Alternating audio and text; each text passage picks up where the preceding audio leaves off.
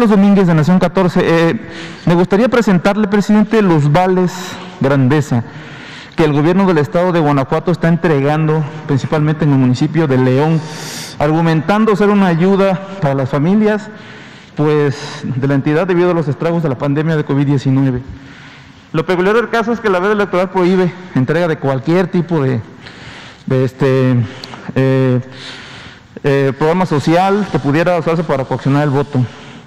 Según cálculos y siguiendo el número de folio de estos vales, tengo mi mano, que tengo mi mano, aquí, lo traigo, mire.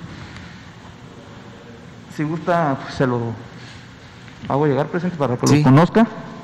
Este, pues ya van 9 millones, se puede, se presume que pueden ser hasta 300, según los, unos folios.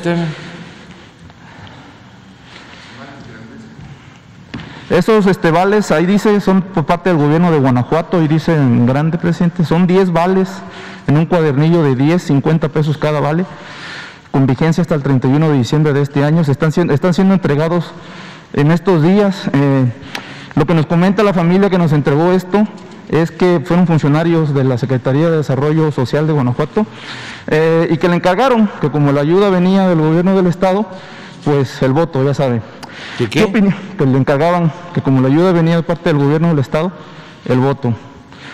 Eh, ¿qué, le, ¿Qué le parece, presidente? ¿Qué opinión tiene respecto a la entrega de estos, de estos vales, que es una flagrante violación a la ley? Es fraude electoral. Fraude.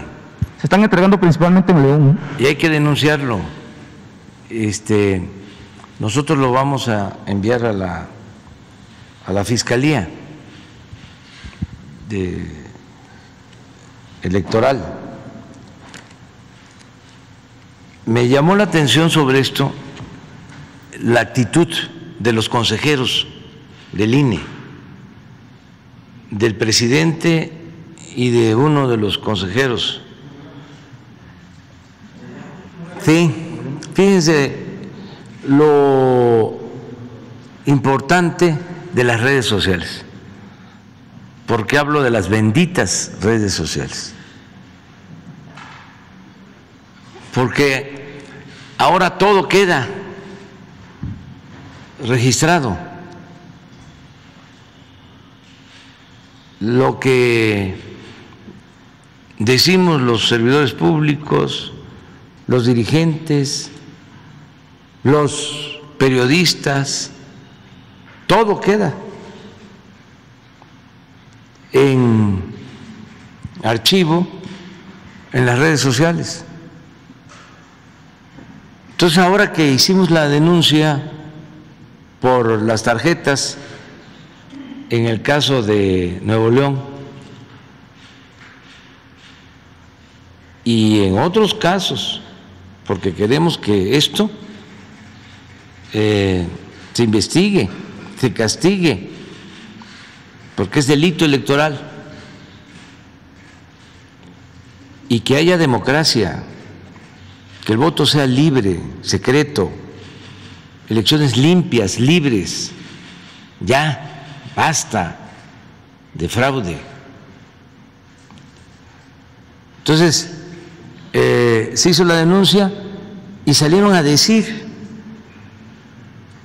los del INE que no era delito que era un cartón.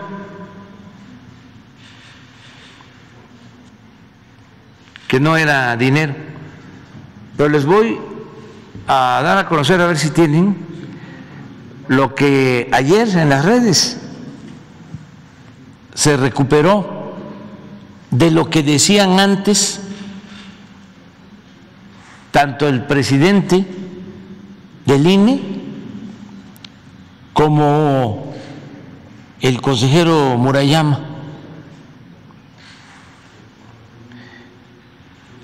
Nada más para este, ubicarnos en el tiempo. ¿Cuándo fue esto? 2017. ¿Eran elecciones de?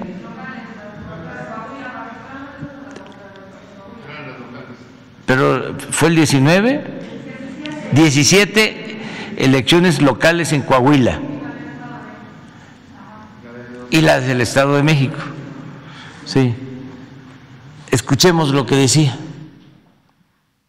Y que esté haciendo un compromiso, insisto, no genérico como la realización de una carretera, no genérico como la instrumentación de un programa social en general, en abstracto, sino un compromiso personalizado, específico. Si votas por mí y si gano a ti, te voy a dar tal cosa, hace que la frontera, desde mi punto de vista, de lo lícito, o si se quiere, la frontera de considerar ese gasto como un gasto de propaganda, en cambio se convierta como una promesa de dádiva, dádiva y consecuentemente, desde mi punto de vista, en un gasto indebido, en un gasto que no podemos, me parece, y coincido con lo que se ha señalado, menos todavía de cara a la elección de 2018, y más vale ir generando certezas de cara a esa elección, a ese conjunto de elecciones, no podemos permitir sea considerado como un gasto de campaña, razón por la cual voy a adherirme a la de datos personales es incorrecta e incluso el proyecto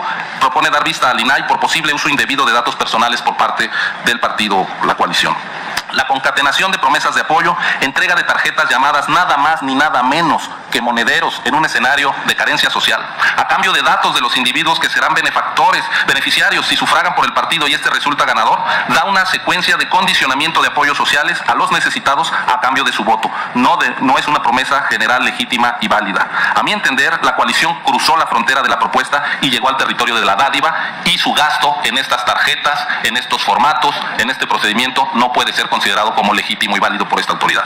Ello merece ser sancionado por el INE hoy y por supuesto de cara a 2018. Gracias.